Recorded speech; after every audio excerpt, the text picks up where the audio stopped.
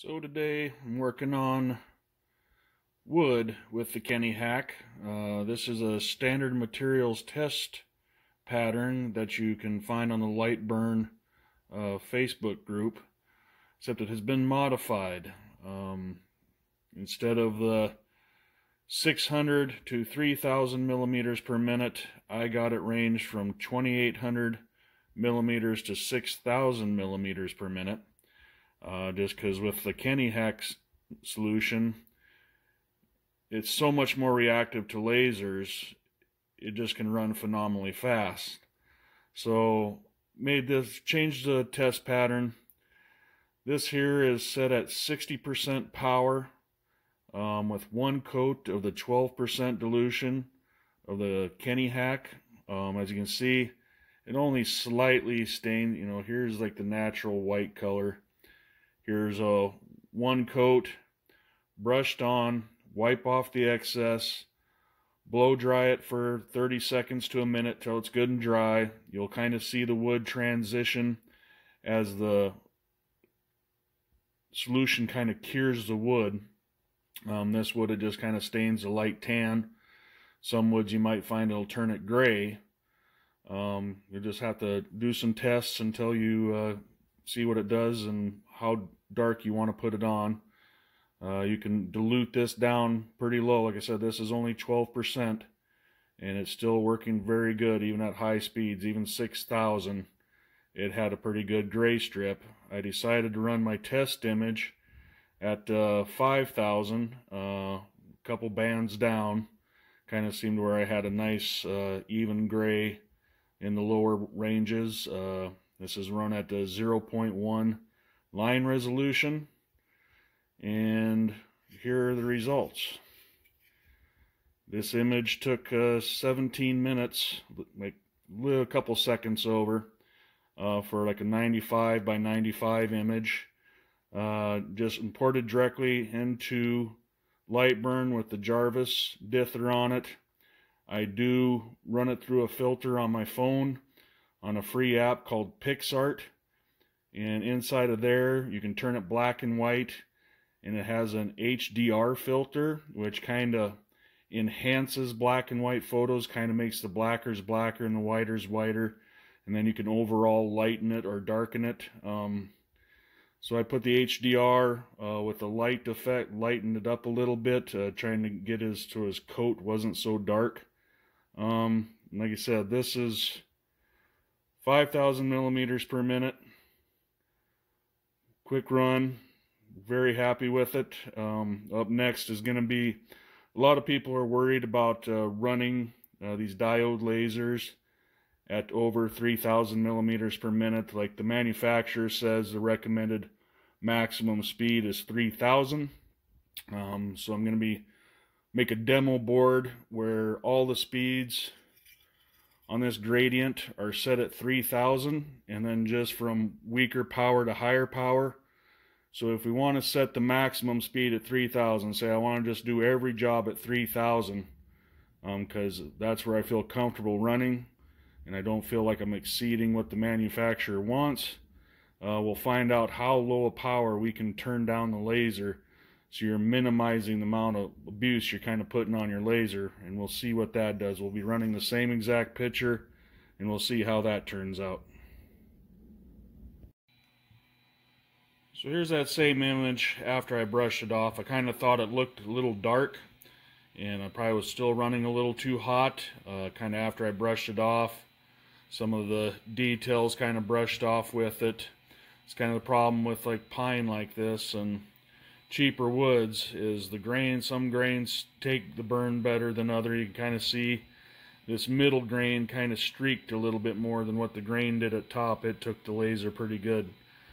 Um, my next, probably in my next video on wood, uh, I'm going to put a layer of white watercolor over it. I've had pretty good luck with that, where it kind of takes the look back to natural wood and it kind of seems to help even out that grain structure a little bit and uh, maybe helps burn a little more even but we'll show that in the next video uh, continue the testing like I said this is kind of a new process with this chemical a lot of stuff to learn. I'm hope some of you guys are out there making up batches of this and going to give it a try and uh, get more people working on it and we can really see what we can do with it.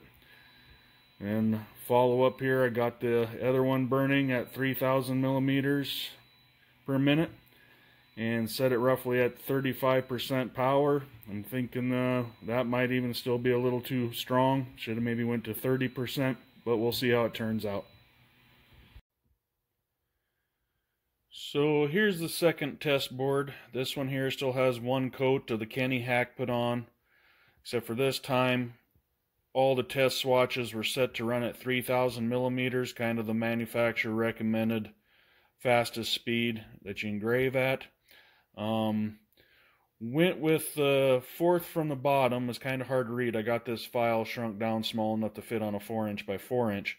Um, that's showing 35%, so that's what I ran my test at, kind of the first block where the 100% was nice and solid. The problem is, is this is just set with Lightburn's fill. These are just drawn in squares that are set to fill. And I don't know how that translates over into the dithering effects. Like I'm using Jarvis, which is the highest quality one I think on there.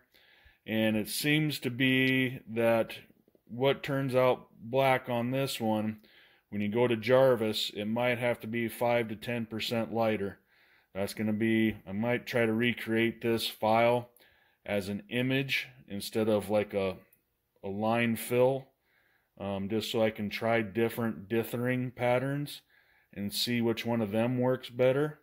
Uh, might be another project for today. Um, if I ever get that done, I'll make another video on that. Um, but here are the results for that one looks pretty much the same as when I ran it at uh, 5,060, 5,000 millimeters and 60% power. Pretty similar. I'll kind of do the same brush test as I did on the other one. See how much of it brushes off if I was running the laser a little too hot. Um, and was, uh, I could probably just start putting coats of urethane on there, of clear coat, and if I don't brush it, I probably could kind of seal the image in as it is. If I put enough layers on where you can't scratch off any of the excess powder. Um, but this is all demo work. You got to learn to do some failures and figure out what is actually makes the best image overall in the end. Uh, that'd be kind of cheating just to seal the dust down in there. I mean, it looks really nice, but is it really a the right settings I should be running at in the future. So that's kind of what the brush test tells me. If I can brush brush a lot of that color texture off, I might have been running a little too hot. But I'll let's see what happens when I get done with that. So yeah, after the brush test, this one brushed off even more. All the places that were really dark on his outfit were kind of overburning and just leaving residue. I think this is what a lot of people refer to as ghosting. Um, that when you brush it off, it kind of leaves a slick effect and kind of didn't really get in there good or it just doesn't stick in. So, like I said, I'm I'm kind of new to laser engraving. I don't know if the cure to that is lower power, lower speed, at a higher power. I I this is a lot of learning for me. Uh, I just started learning how to make half decent picture quality yesterday. So these are some of my first tests, trying to learn more as I go and sharing it with you guys. Hopefully you won't have to burn through so many test patterns if you by the time I get through all these test blocks. All right, thank you. Well, maybe do a few more tests at lower power. Uh, do one of these runs at this power on plain wood, just the bare wood and see what effect that speed and that power would be on the bare wood if it would even burn into it at all without the Kenny Hack solution. Well, I'll stand by and I'll show you what I do. So this is running one of them exact same uh, little wooden coasters. These are really cheap. You can get a four pack of these for like $3 at Walmart. So I got them for testing out. But you can see I got the exact same settings I did the last image on, going 3000 speed, 35% power. And without the Kenny Hack solution on there, it's not even scratching it. It's even in the blackest of areas, it's just going to barely maybe leave a trace here and there. So really no, I'd say normally to burn this wood, you'd be down in the 1000 to 1200 millimeters per minute, running higher power, you know. It can be done just burning straight into the bare wood, but you're going to be running a lot slower, a lot higher power. So that's kind of what this Kenny Hack solution does. It just makes the laser so much more reactive to where you can actually get up into decent production speeds and not just taking all day to burn one image. And that's what I'm trying to get get across to everybody, that just how much faster you can produce products if you apply a coat of this Kenny Hack solution on there.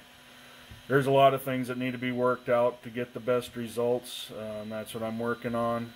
But you should be able to instantly tell that how much better burning on wood, canvas, there's different applications to be found yet. Um, but especially for wood, it just speeds it up and makes it work so much better. So a quick lesson for you other newbies out there. This was my uh, materials test swatch. And when I first ran it, this fourth line up looked to be the best. It was one where I forgot the first solid black color. But I didn't run the brush test on it. And if I would have, I'd have seen that a good portion of it brushed off. If, and if I'd have went down to 30 to start with, that would have probably been a better starting point. So my next sample, I moved it down to 30, and I also took off the HDR effect uh, that I had on the photo before. Just went with a straight image, drug straight into light Lightburn, no pre-filters applied. Just let uh, Lightburn turn it to a gray picture. Um, and ran it at 30%, seeing if that HDR was making my blacks too black. And that's what was causing me to lose uh, some of my details. Uh, hopefully it works and I no longer have to bother with the big GIMP or trying to pre-process anything. Just drag it into Lightburn, let the let it apply the Jarvis, and that's all that might need might need to have to do anymore. That'd be a nice change, just not having to mess with the image before I burn it. So here's the last uh, batch test batches for this video. This one here was at 3000 millimeters, 30% power, 0.100 resolution. I put the little up arrow because I was cutting on the y-axis. You'll see why on the flip side. And using Jarvis. This had no pre-filter applied, just the image drug in. I just had to crop off the image to fit the square. Just uh, didn't adjust any brightness or contrast to it in Lightburn.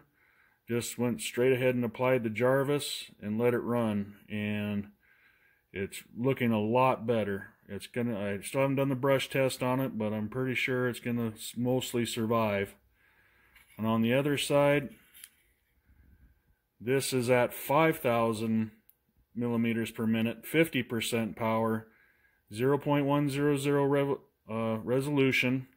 And I got the arrow drawing left to right because I was cutting on the x-axis and still in Jarvis. Now the difference is there is a power difference between the x-axis and the y-axis, just the way the diode laser focuses. When it's cutting vertically on the long axis, which, will, which is the y-axis, it will cut has a little more power to it just by the way the beam is focused than if it cuts on the x-axis. So if you're cutting on the x and you really like your results and you switch to the y-axis where you set it to 90 degrees, you might have to drop your power two and a half, five percent.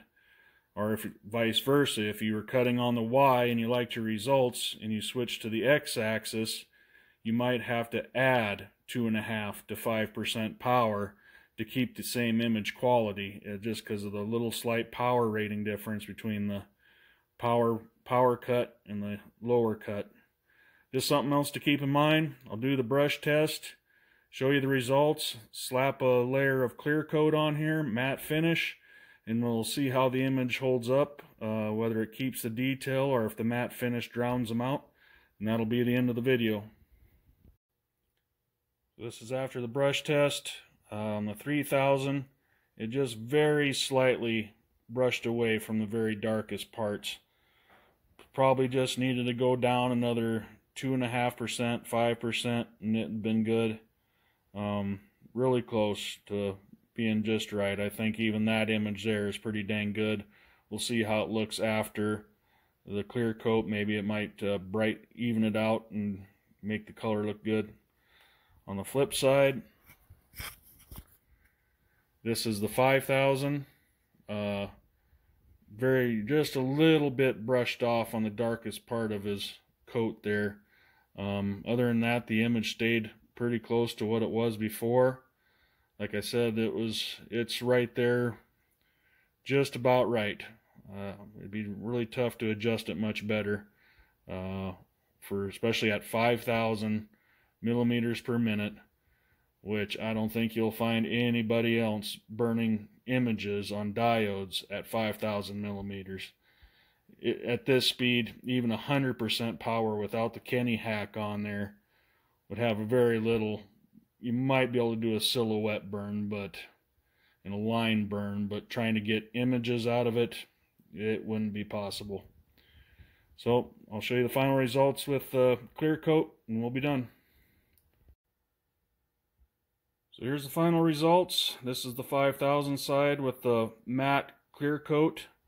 Didn't lose much detail in it. I've had some times when you apply the clear coat over to seal it uh, that a lot of the details get muted out and kind of lose them.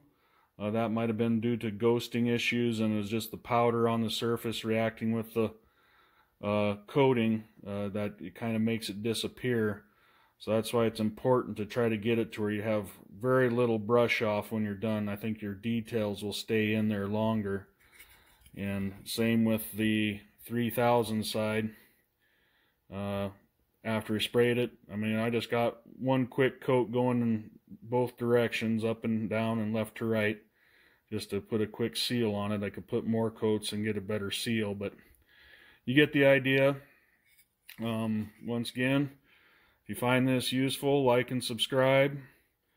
Maybe instead of uh, buying any add-ons for like the GIMP or anything, before you spend your $30 on that, go spend $10 to get the few little home chemicals you need to make this. Give it a try. Uh, I really don't know if I'm going to bother using any more of the plugins anymore. I might just be dragging the images straight in with woodworking anyways. Um, really impressed with the results so far. Like I said, on my next video, I'm going to apply another coat of white watercolor over the stain. Kind of helps turn it back to a little more whiter wood and might help the image pop a little bit more. But that'll be all in the next video. Look for it.